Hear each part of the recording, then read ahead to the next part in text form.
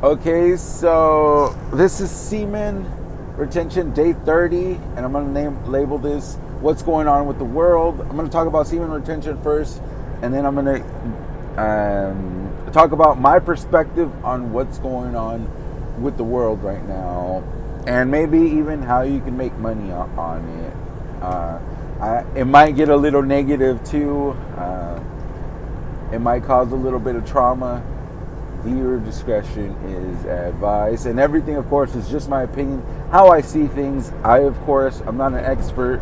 I don't have you know all the data and i'm not gonna look for the data to um, you know to verify like what i think. This is just simply what i think. Okay so first semen retention. Um, all right day 30 i made it to day 30 wow. Um, what an accomplishment.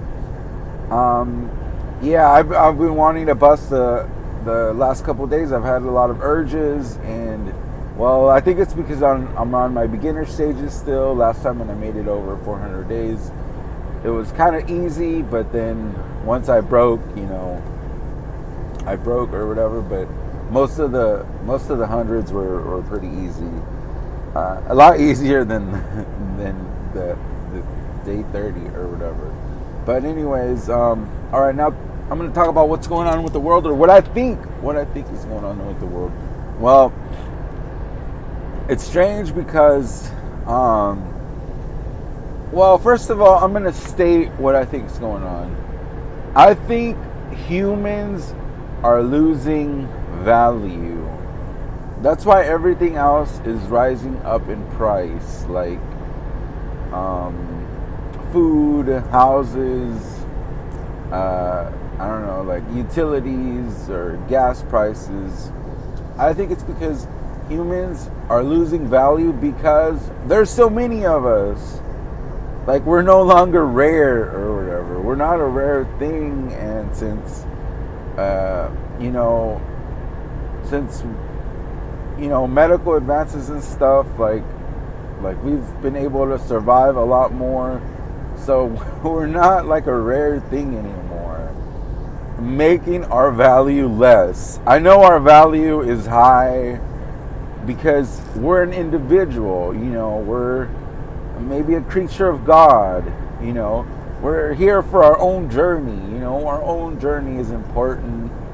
Our own ex- life experiences are important, but um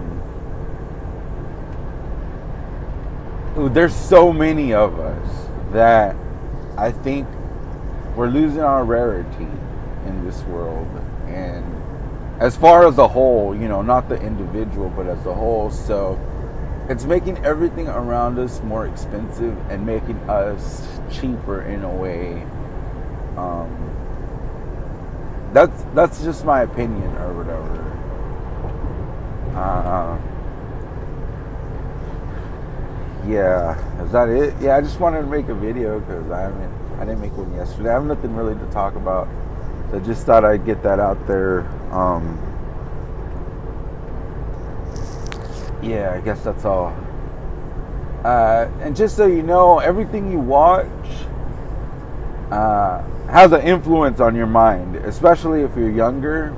It has an influence because I just saw a video yesterday that I had seen maybe five years ago, and everything it said on that video, like, is something I believe in. And when I watched it five years ago, I didn't believe in, in a lot of the stuff he was saying. And it's weird because I watched the same video five years later and I recognized the video.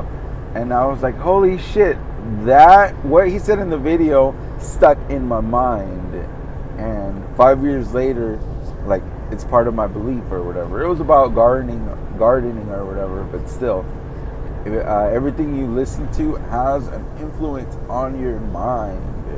So be careful what you listen to. Even my stuff, like sometimes I'm negative and stuff. So be careful. All right, that's all for this video. Thank you.